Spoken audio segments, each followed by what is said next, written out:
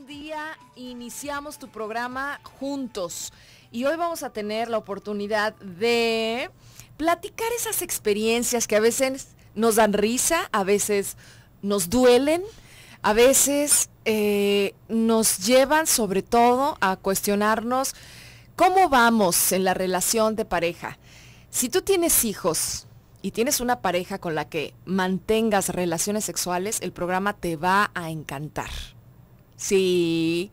Bueno, no tienes pareja, no, no viven juntos, pero si tienes relaciones sexuales, también te va a gustar el programa. Mamás y papás, bienvenidos, porque además vamos a contar con la presencia y guía del doctor Marco Antonio Pérez Mora, que es psicoterapeuta, que nos va a ayudar en la parte que es su especialidad, que es la sexualidad, porque parece como que las parejas con hijos le hacen como pueden para mantener su vida sexual, aunque no se habla mucho de esto, de si hay todavía apetito, de si hay todavía oportunidad, de si la madrecita santa, que por supuesto ahora tiene que atender a los hijos, todavía tiene deseo por este macho dominante que le dio hijos, por supuesto, pero que ahora, bueno, ella tiene que cuidar. Doctor, bienvenido, ¿cómo está? Gracias por venir con nosotros a aceptar la invitación de Club de Mamás. ¿Qué tal Claudia? Buenos días, gracias por la invitación. Y bueno, pues esto que tú comentas es un tema que todo el mundo vive. Nuestros abuelos, nuestras abuelas, bisabuelos, nuestros padres, nosotros y nuestros hijos, pues van a pasar por esa situación de cómo compaginar la vida sexual activa y placentera con la crianza de los hijos. En muchas familias o en muchas parejas eh, sucede que a partir del primer embarazo la vida sexual empieza en declive. ¿Y por qué empieza en, declive? Por varias razones. Una, obviamente, es el embarazo de la mujer, que al principio genera una serie de trastornos y la mujer trata de evitar el contacto sexual. Ella es la, que empieza a poner un límite. Pero después del segundo trimestre del embarazo, en muchas mujeres el apetito sexual se incrementa. Ahí hay una mejoría si el hombre corresponde a la petición de la mujer. Pero una vez que estamos en el sexto mes en adelante, el cambio físico de la mujer desanima a muchos varones. También encontramos que muchos varones, una vez que saben que su pareja está embarazada, tienen miedo de causarle un daño al bebé la fantasía entre muchos hombres, que es una fantasía errónea, que no tiene ninguna base, es que ellos pueden con su pene dañar a su bebé. Y algunos, todavía peor, creen que su, que su bebé puede dañarles el pene. Y entonces eso hace que eviten las relaciones sexuales con su pareja. En este caso los varones evitan el coito con su pareja. Una vez que nace el bebé, obviamente la mamá necesita dedicarse en cuerpo, alma y corazón a su bebé los primeros meses. Aparte de eso, su cuerpo pues está en proceso de recuperación por el proceso de embarazo y el hombre no tiene muchos deseos. Hay hombres que no respetan ni la cuarentena, pero que son como muy salvajes, o sea, tienen un acto coital y adiós. O sea, como los gallos, pisa y corre y se acabó. Pero un acto sexual placentero que la mujer lo disfrute podría darse después del proceso de la cuarentena y reinstalarse en la actividad sexual. Pero ¿qué sucede? Que luego empiezan eh, las cuestiones... Eh, de educación, de crianza, de cultura, a pensar que si es mamá no tiene que manifestar deseos sexuales. ¿Por qué? Porque dice, bueno, la maternidad es como muy sagrada, pero el acto sexual es así como muy salvaje o como algo meramente reproductivo. No muy este sublimado, no muy reconocido. Y entonces tienden a ir postergando el momento de la actividad sexual o la hacen de una manera así como muy eh, rápida, muy fugaz. Pero las parejas que manejan bien esto pueden reinstalar su vida sexual activa sacando al bebé de la alcoba y teniendo su propio espacio encontrando la manera de que el bebé no interrumpa su actividad sexual. porque muchas veces eh, la preocupación por si el bebé está bien, si está durmiendo, si no se despertó, no permite sobre todo que la mujer se concentre en lo que tiene que hacer. Muy bien. Como escucharon, hoy vamos a tener mucha tela de dónde cortar. No me digas que no tienes tela de dónde cortar. Alguna situación en donde tú ya estés pensando en que ya es hora de sacar al bebé del cuarto, en donde ya no tienes bebés y sin embargo son pequeños que interrumpen, son pequeños que en algún momento han alterado con su propia dinámica eh, la misma rutina o dinámica de pareja pues es obvio, ¿no? Cuando uno tiene hijos, pues te vas a ir adaptando porque si no se duerme el bebé, pues tú todavía no puedes ir a lo que sigue hasta que el bebé no se duerma, ¿no? Ahora, ¿cómo puedes combinar? ¿Cómo lo haces ya en este tema de la sexualidad y los hijos? ¿Me ayudas? Sobre todo en la parte de las parejas y cómo lo llevan. Eh, ya por el Facebook estamos preguntándote y si tienes tú en particular alguna pregunta a nuestro especialista, el psicoanalista, el doctor Marco Antonio Pérez Mora, sexólogo, nos ayuda con este tema. Son las 10 con 14 minutos. Ya estamos en cabina y estamos también por internet. Nos puedes ver por www.radiomujer.com.mx. Es en la oportunidad que tenemos de estar en vivo en la red social y que tú entres a la sala de chat y que por ahí también puedas escribir tu pregunta. O puedes hacerlo vía telefónica si es que también para eso usas tu celular para hablar por teléfono, también nos puedes marcar. Es, tenemos una línea nacional sin costo si nos escuchas en México o en cualquier parte de la República, 01800 727 5420.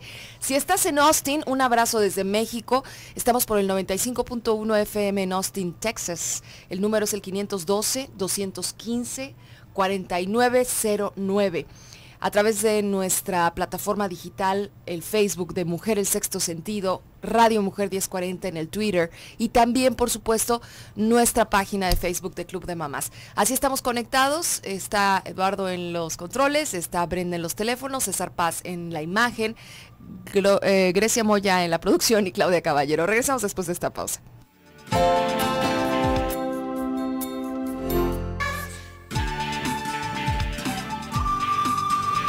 El doctor Marco Antonio Pérez Mora nos llevó en el inicio del programa hacia este escenario de la pareja que tiene bebé por primera vez y que adapta sus, su vida, sus horarios, sus dinámicas a esta criatura que llega y que trata en este caso de mantener lo que tenían a toda costa, que era una relación de pareja.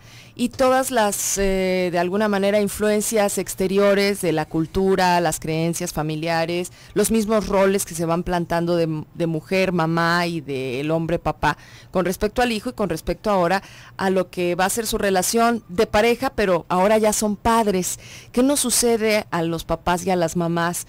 Eh, en, a lo largo de la crianza de los hijos, doctor. Vamos también pues estrenándonos en estos roles y vamos eh, de alguna manera moviéndonos como mejor nos va, pero algunos a expensas de la pareja. Eh, cuando pasan estas cosas y que queda la pareja a un lado porque la familia con la llegada del hijo la margina, entonces surgen problemas importantes.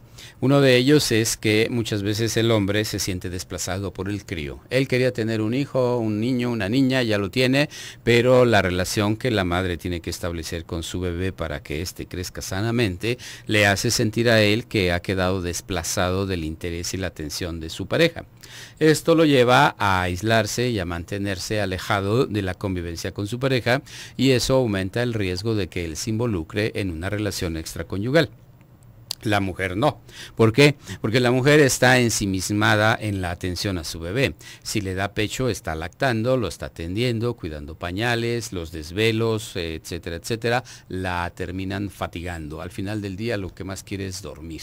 El hombre no. El hombre lo que quiere es que alguien lo siga papachando como lo papachaba su mujer antes de estar embarazada o de tener a su bebé. Si la pareja lo habla, lo dialoga, lo expresa, se pueden entender y pueden de alguna manera evitar caer en esta situación de riesgo. Una vez que el niño va creciendo y va necesitando menos a la mamá, al principio come cada dos, tres horas, luego cada cuatro, luego cada cinco, luego ya con menos eh, frecuencia, eh, los padres pueden disponer de más tiempo. El bebé ya duerme de corrido, ya no tiene cólicos, ya no este, requiere tanto tiempo, va creciendo, pero de cualquier manera los papás siempre están así como al pendiente de los hijos. Si antes de tener hijos, él y ella podían gritar cuando tenían relaciones sexuales porque en el orgasmo pegaban de gritos, se colgaban del techo, ahora se limitan por la pena de que el niño se va a despertar o qué va a pensar el niño. Y entonces, en vez de echar el grito así como Tarzana, ya nomás hacen pujiditos de y se acabó. ¿sí? O sea, eso también hace que cambie. Pero si son papás inteligentes, pueden buscar la manera de llevar a cabo su actividad sexual cuando los hijos no están presentes. O sea, buscarse espacios cuando no están los hijos o buscar una ayuda familiar para que se lleven al niño, a la niña un rato y en ese momento tener su actividad de pasión. También pueden hacer, eh, buscar un espacio fuera del hogar para llevar a cabo su actividad sexual. Lo importante es que no eh, permitan que decaiga la frecuencia y la calidad de su vida sexual. ¿Por qué? Porque si lo dejan eh, disminuir, eso va a ir creando una brecha en la relación amorosa, en la relación afectuosa entre ellos dos, que a la postre puede llegar a terminar en un enfriamiento que genere una ruptura y eso va a afectar después a la familia, a los hijos y no es lo más recomendable. Luego, ¿qué sucede con el desarrollo del tiempo? Van creciendo los hijos, entran a la escuela, y muchas veces cuando los hijos llegan a la adolescencia hay como una especie de reactivación de la pasión sexual en la pareja. ¿Por qué? Porque las hormonas que segregan los hijos, la conducta que ellos manifiestan, reactiva en los padres otra vez su propia historia. Tanto el hombre como la mujer intentan ponerse al tanto con la situación de la adolescencia de sus hijos. Y encontramos hombres que andan sobre los 40, 45 y quieren volver otra vez a hacer actividades como las que hacían cuando tenían 15, 16, 17 años. Y señoras que se meten al gimnasio, que se hacen una cirugía estética para verse nuevamente más jóvenes, impulsadas inconscientemente por la juventud y lozanía de sus hijos. Y entonces ahí tienen una segunda oportunidad de reactivar y fortalecer su vida sexual, pero siempre y cuando no se como no se desbarranquen en un querer imitar a los hijos y querer ser como ellos. A los 40, 45 no puedes hacer las odiseas que hacías a los 18, por más que quieras. Mm, o si las vas a hacer, no las hagas en el antro donde están tus hijos, ¿no? Porque luego es una competencia pues desleal, pero aparte los hijos terminan muchas veces ganándote. Una señora de 45, por muy atractiva y guapa que esté, no va a poder competir con la lozanía de su hija de 18. No, pues ¿cómo? O sea, es absurdo, ¿no? Pero hay quien sí lo hace. ¿Por qué lo hace un adulto, ya sea mujer u hombre, doctor? Acaba de mencionar que hay como ese segundo aire, esa hormona de la cual te contagias, pero es que no encuentra satisfacción en casa, es que no hay tampoco ese crecimiento, ese desarrollo humano que te diga, tienes 40, tienes 50 ¿Tienes otras opciones en el tema del crecimiento del divertimento? Es por falta de madurez y porque muchos le temen al envejecimiento. Y entonces cuando ven que los hijos van para arriba, ellos se dan cuenta que van para abajo. Eso les genera angustia y sin ser conscientes de ello, tratan de imitar a los hijos. O sea, resistir.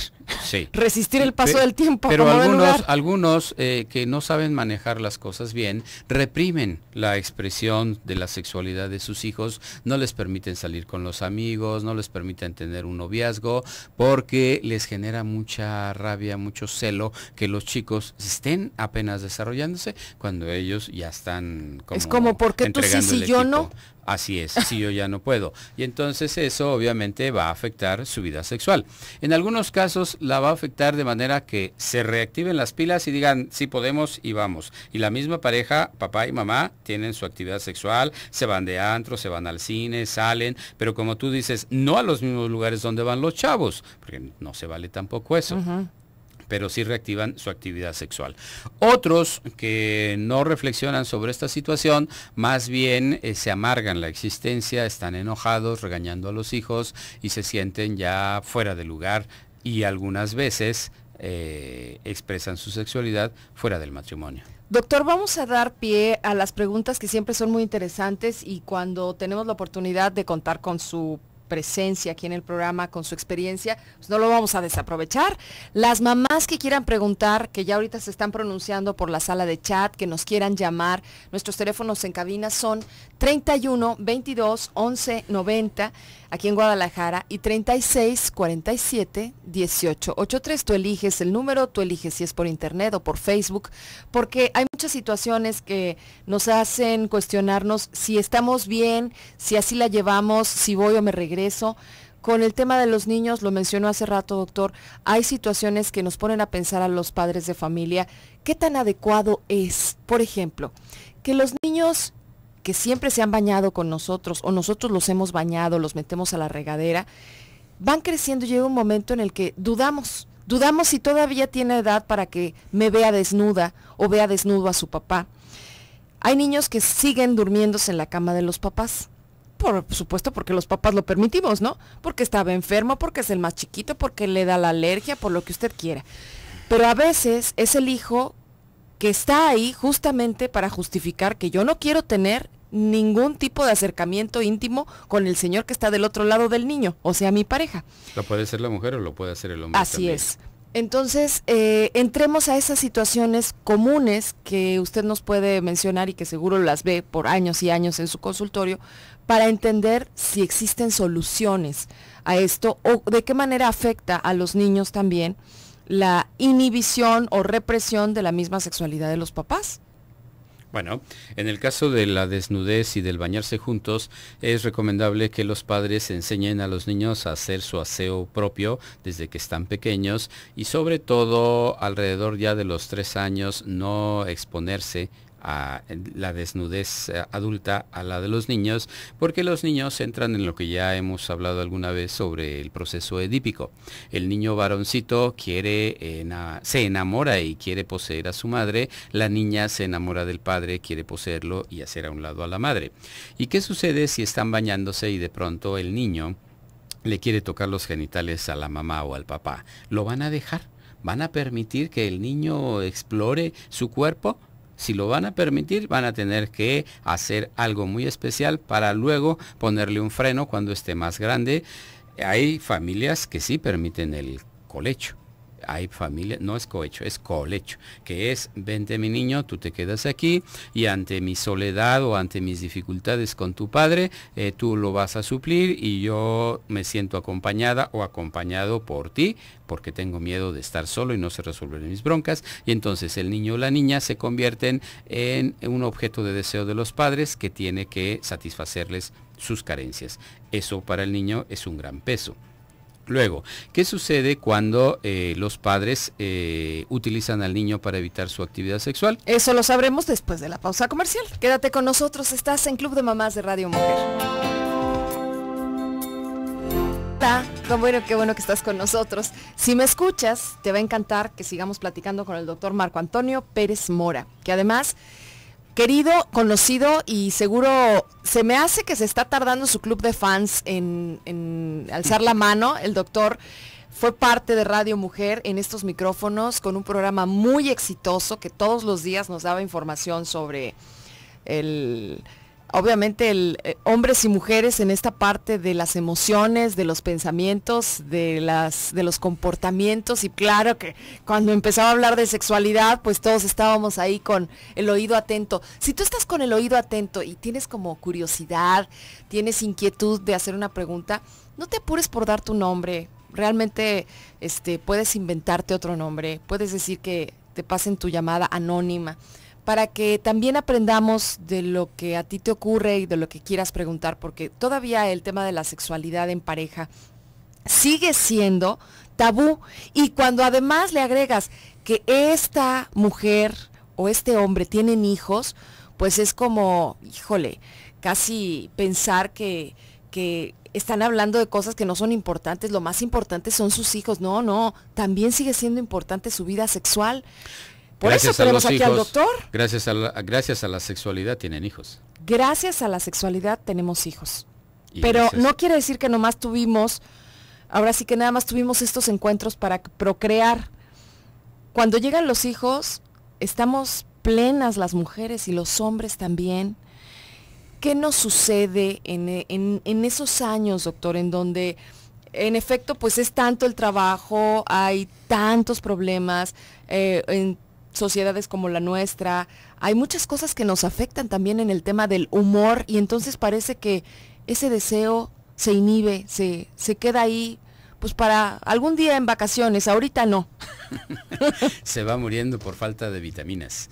Eh, se va muriendo porque las personas se enfocan más a otras cuestiones cotidianas, como tú lo señalabas, llevar a los hijos a la escuela, hacer la comida, tenerlos listos, bañados, eh, ver que vayan creciendo. Luego hay la preocupación económica de pagar la hipoteca, de cambiar el coche. Los hombres y las mujeres se preocupan mucho por un cierto nivel de vida, pero se les olvida que lo esencial y por lo cual se casaron y por lo cual ahora tienen una familia fue precisamente el deseo de compartir su sexualidad.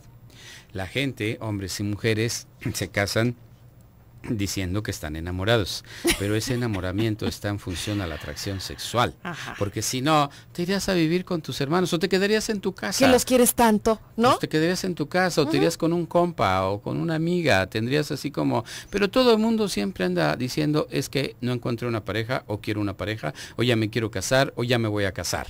¿Y por qué te vas a casar? Ay, porque lo quiero mucho, la quiero mucho, porque me encanta, porque está bien bonita, porque esto ¿Y por qué está bien bonita? Ah, porque me atrae sexualmente. O porque está tan guapo, o porque es esto, porque le atrae. incluso algunas cuando dicen, no, es que es muy trabajador y muy responsable. ¿Y para qué quiere un trabajador responsable? Para que la mantenga, para que no le falle, para que le dé hijos y para que le asegure que va a estar ahí en casa. ¿Y para qué lo quiere en casa? Para tener sexo. El sexo con todas las de la ley. Pues sí, porque si no su papá también es muy trabajador y muy responsable, ¿no? no se queda con él, porque sería incesto. Entonces, nos casamos para tener sexo. Pero luego se nos olvida. Se nos olvida. ¿Por qué estábamos juntos? Porque nos enfocamos a todas esas otras actividades. Lo recomendable es que le demos tiempo, espacio, atención a la vida sexual de la pareja todo el tiempo y que veamos si nuestra pareja está satisfecha y si nosotros nos sentimos satisfechos y cuando no es así expresarlo preguntarle ¿está satisfecha con lo que tenemos? no ¿por qué no? Sin enojarnos. Porque muchas veces preguntas, oye, ¿te gustó esto? No, pues no. Oh, que la fregada, mira nomás, no te doy. No, no, no. Si voy a preguntar si te gustó y me dices que no, te voy a preguntar por qué no te gustó. ¿Qué me hace falta darte para que sí te guste?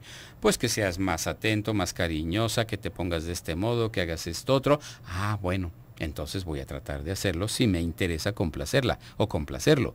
Entonces hay que dialogar sobre este punto y fíjate que una paradoja de las parejas es que muchas veces no hablan de la vida sexual entre ellos.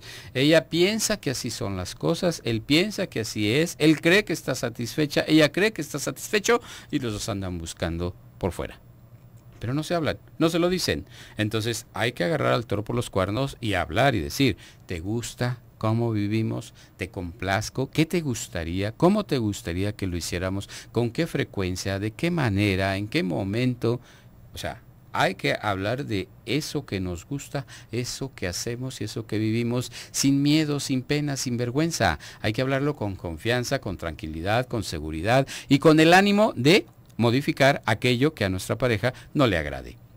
Y buscar nosotros la manera que nuestra pareja modifique aquello que a nosotros no nos gusta para que nosotros estemos más complacidos con ella. Al vivir los adultos esta así, esta sexualidad plenamente, eh, tomando el toro por los cuernos, pues estamos eh, de alguna manera combinando esta existencia con la de ser mamás, hablando de las mujeres, doctor, ¿sí?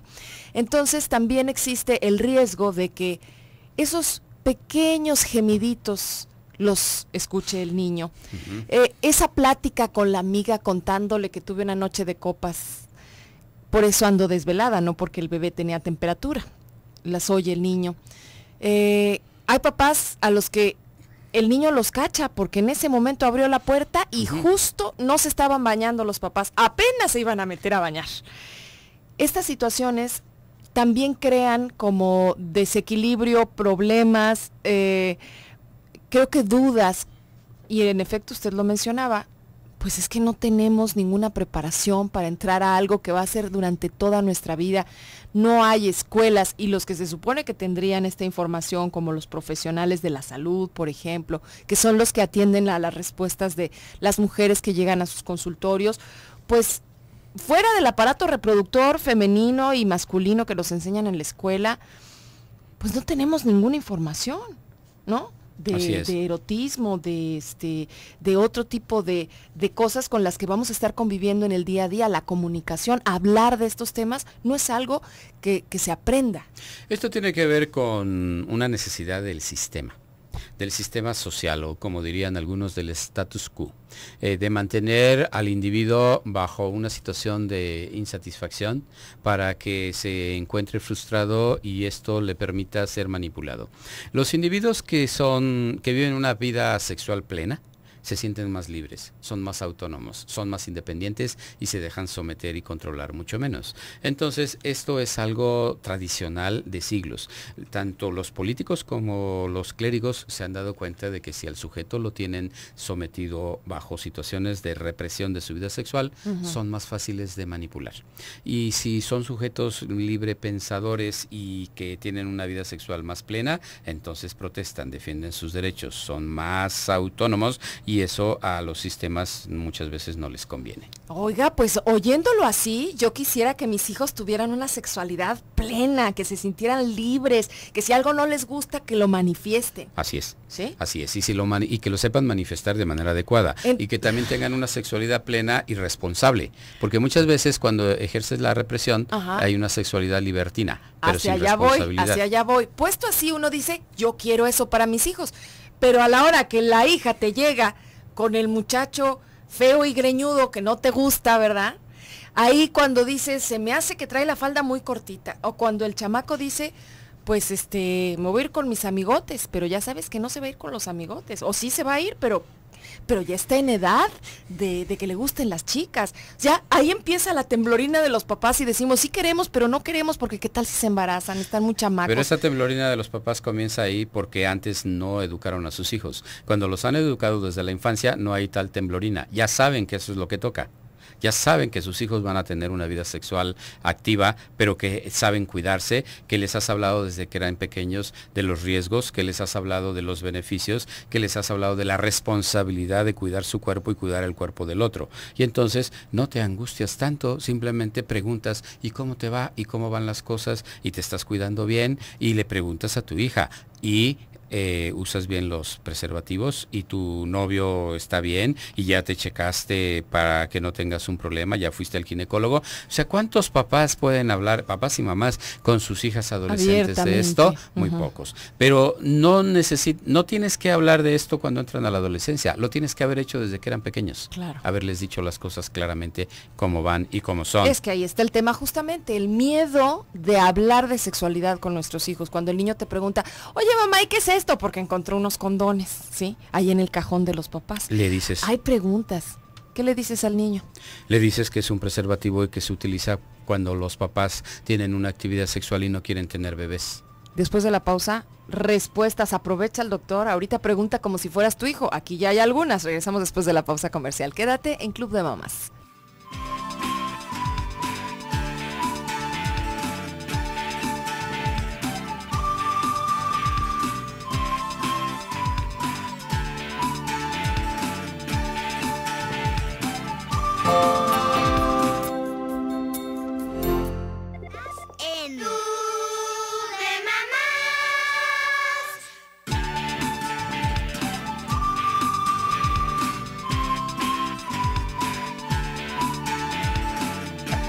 Mamás es el programa que estás escuchando con nosotros esta mañana. Gracias por seguirnos vía internet y ahorita vamos con las mamás del chat. ¿Listas? Allá va. Aplausos para el doctor, dice Gris. Ahorita vamos con tu pregunta. Vamos con preguntas y respuestas, ¿les parece? ¿Dónde y con quién acudo cuando ya no hay apetito sexual? Dice Laurita. En ese caso, obviamente, tiene que ir con un terapeuta. Pero antes de ir con el terapeuta sexual, tiene que consultar a su ginecólogo para que el ginecólogo pueda determinar si es efecto de algún trastorno derivado de la pre o de la menopausia, de la premenopausia o de la menopausia. Cuando es derivado de estas alteraciones hormonales, el ginecólogo les receta lo que se llama una terapia hormonal de reemplazo y con eso se equilibra su situación. Si ya lo ha recibido, si ya ha tenido eso y aún así sigue baja de deseo sexual, la consulta con un terapeuta sexual le puede ayudar. Muy bien, ahí les va. Todos aprendemos de estas situaciones. ¿eh? eh Janet, Janet de Austin dice, mi hija tiene seis años, ¿cómo le puedo explicar cuando ella dice, mamá y papá se encierran en el cuarto para hacer, ¿sabe qué? Y realmente, doctor, no estamos teniendo relaciones sexuales pero por sus preguntas. Ah, cuando la niña dice, ¿sabe qué? La mamá debería de preguntarle, ¿y qué crees que hacemos? Y él sabe que puede ser que por influencia de los amiguitos de la escuela esté pensando que hacen algo malo. Entonces le puede decir que los papás cuando están en su alcoba, pues tienen eh, platican, se abrazan, dialogan, duermen juntos porque son esposos y que los esposos se besan, se acarician y tienen si es muy abierta ella y la niña lo puede entender, lo que son actividades sexuales. y la niña va a preguntar, sí, y la niña, ¿y qué es eso, mami? Ah, pues que papá y mamá se besan, se acarician, se dan besitos y se quieren mucho. En función a las preguntas que haga la niña es como se le va dando la información. No hay que estarle diciendo santo y seña de lo que es el acto sexual si la niña no lo está preguntando. Mira, aquí vale la pena contar la anécdota esta de, la niña como esta de seis años que llega a casa después de, en un domingo y le pregunta a la mamá, mamá, ¿qué es pene? y la mamá suda la gota gruesa y empieza a darles explicación del órgano sexual masculino y al final de la explicación le dice, ¿por qué me preguntaste eso? Y la niña le dice, es que en la misa el padre dijo que oráramos para que su alma no pene hay que saber por qué está preguntando el niño. Entonces, y la, niña ya se llevó gratis toda una lección de sexualidad. que no necesitaba saber en ese momento. Ok. ¿Podría hablar de las relaciones sexuales en los adultos mayores, doctor? A veces discuto con mi esposo por eso. Es una mujer de 73 años. Eh, no sé qué discuta, si sí o si no. Eh, las relaciones sexuales... Tal vez ella sí quiere tener relaciones. Las relaciones sexuales se pueden tener hasta el momento de que te estás muriendo, ¿sí? Eh, a la señora en cuestión le podría recomendar la película y que la viera con su marido, Elsa y Fred. ¿Sí? La señora esta que tenía cáncer y se iba a morir, no, tenía una insuficiencia renal, perdón, y busca una relación y se enamora y disfruta la vida plenamente a sus 75 años. Bueno, aquí está la, lo, que, lo que comparte Gris. Dice, creo que somos una sociedad que vive en represión, en doble moral, yo a mis hijos les hablo libremente. A mí cuando era niña adolescente me, me, dijeron que todo era malo. Me decía mi mamá, si un hombre te propone que hagas tal cosa, no te quiere ni te respeta. Dice, yo apenas tengo tres años viviendo mi sexualidad como a mí me gusta, pero he tenido que abrir mi mente. Hoy a mis hijos les digo que es su cuerpo, que son libres de ejercer su sexualidad como, como ellos quieran y su pareja lo decidan pero con responsabilidad, que nadie los va a castigar. Gris, pues aquí estás, estás tocando el tema este de la culpa, ¿no? Bueno, ella ha roto esa situación tradicional. Felicidades, de su Gris y puede hacer un cambio social al educar a sus hijos de esta manera. Sus hijos educarán a sus nietos de una manera más abierta, pero insisto siempre enfatizando la importancia de la responsabilidad. Es como cuando tú utilizas un auto, tienes que ser responsable de traerlo en buen estado para no provocar un accidente. O cuando utilizas una máquina en el trabajo, tienes que ser responsable. Tienes que ser responsable si estás frente a un micrófono como estos. Entonces, la vida sexual eh, llevada a cabo con responsabilidad, con conocimiento y con madurez, nos puede dar unos niveles de felicidad y satisfacción tremendos. Susana, tengo un hijo de 12 años y está entrando en la etapa de la noviecita y de que las niñas lo buscan. ¿Cómo hablo con él que aún no está en edad? Susana, sí está en edad de las noviecitas, ¿eh? Quizá Tal vez la, pregunta era de no está en edad de tener relaciones sexuales, que es lo que los papás no quisiéramos, que a los 12 años tuvieran relaciones sexuales. Es muy diferente que no esté en edad de tener una relación sexual coital a decir que no está en edad de que le gusten las chicas y de tener una novia o de que se masturbe con las amigas, o que se masturbe y disfrute de su cuerpo. Aquí yo le diría a la señora que tiene que entender que en la adolescencia las hormonas hacen su función y en la medida en que eduque a su hijo, le brinde asesoría, lo escuche, le dé una orientación adecuada, sin enojo, sin agresión, sin represión, sin prohibiciones extremas, su muchacho va a tomar conciencia de esto y va a ser un sujeto responsable. Hay estudios que se han hecho en todo el mundo y esto los publica la Organización Mundial de la Salud, donde se dice que las personas que recibieron una educación sexual adecuada en su familia. Inician su vida sexual activa entre los 17 años y medio y los 18 y quienes no recibieron una educación sexual adecuada en su familia están iniciando su vida sexual activa, esto es teniendo coitos, entre los 12 y los 13 años.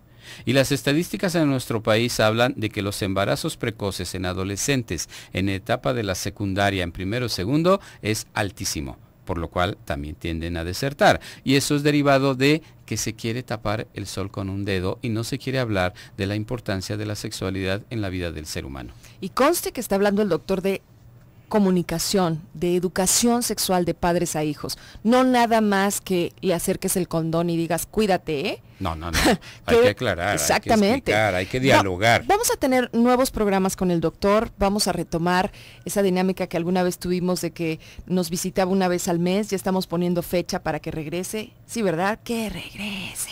El doctor Marco Antonio Pérez Mora, antes de que se nos vaya el programa, doctor, ¿dónde le pueden localizar todos estos padres de familia que están interesados en, pues, en Mira, el, teléfono del consultorio es el 36 15 17 50 y por correo es dr-perezmora arroba yahoo.com. Repetimos el teléfono 36 15 17 50. Raúl, muchas gracias por eh, llamar. Dice, mi esposa tiene cuatro meses negándome tener relaciones sexuales. Busco la manera, pero no quiere. Y yo me estoy agotando. ¿Qué hago, doctor? Aquí tendría que dialogar con ella sobre las razones por las que se está negando. Si ella está enojada, insatisfecha, enferma, deprimida, si le reclama algo, para aclarar la situación. Cuando hay una negativa de este tipo durante tanto tiempo en el matrimonio, es que hay un problema. En ocasiones puede ser una enfermedad. Si ella está deprimida y triste, no tiene ganas. No es que no lo quiera, es que ella no tiene ánimos. Pero si ella está enojada o si ella de alguna manera está pensando en romper la relación, es una buena forma de eh, terminar. O sea, las mujeres cuando utilizan la huelga de pierna cruzada, que así se llama la negativa de la mujer al acto sexual, es porque están muy molestas con su pareja o están muy deprimidas. Perla, al utilizar parches, doctor, ¿se puede tener relaciones sexuales sin preservativo, sin correr riesgos de embarazo? Eh, se utilizan los parches que le indicó el ginecólogo con, que contienen los estrógenos para, y las sustancias propias para inhibir la fecundación, sí. Carmen, hace un año me operé y mi apetito sexual bajó. ¿A qué se debe y qué puedo hacer? No nos dice de qué se operó, pero supongamos que se haya operado de algo vaginal. Muchas veces es el pensamiento nada más, es la idea de que si ya no tienen la matriz o si les quitaron un ovario, ya no van a tener actividad sexual, pero no hay ninguna razón para temer por eso. Eh, si tiene un ovario nada más funcionando, es más que suficiente para que segregue los suficientes estrógenos y la cantidad de testosterona necesaria para que siga teniendo deseo sexual. Si se hacen una cirugía estética, y no les agrada, eso también puede influir que tengan una inhibición de que su pareja las vea y las puede rechazar. Doctor, lo esperamos en la próxima, ¿eh? Con mucho gusto. ¿Nos dejaría algo de tarea? ¿Hay eh, algo que podríamos ir descubriendo en nosotros mismos, en nuestra relación, siendo papás y mamás con hijos? ¿Queremos mantener viva esa sexualidad? Una tarea que pudiera ser para el auditorio es que reflexionen acerca de cómo fue la vida sexual de ellos en su infancia, cómo los educaron sus padres, si pudieron hablar con sus padres de sus inquietudes y cómo se sintieron ante la respuesta de sus padres, ya sea que fuera positiva o negativa, para que ellos reflexionen, el auditorio que nos escucha hoy en día, y piense si eso es lo que quieren darle a sus hijos o si quieren hacer un cambio en la interacción con ellos para que sus hijos se ahorren algunos errores que ellos han cometido a lo largo de su vida sexual. El tema es que estamos educando a nuestros hijos también en su sexualidad. Hablemos o no hablemos. Ah, claro. con lo que decimos y con, lo que no decimos también estamos educando. Sí. Definitivamente. Doctor Marco Antonio Pérez Mora, muchas gracias por pisar nuevamente esta cabina de Radio Mujer y estamos gracias en contacto. a ti, Claudia, y gracias al auditorio. Mamás, papás, recuerden que este programa todos los días está aquí al aire gracias a ustedes de 10 a 11 de la mañana por Radio Mujer, el sexto sentido de la radio. ¿Ya estás listo? El sábado nos vamos a ver en el evento El hábito del buen vivir en la Expo Guadalajara en punto de las 9 de la mañana. Conferencias de todos mis compañeros. Yo nomás voy a ir al chisme, pero espero que ya corras la voz porque falta muy poco tiempo. Y quédate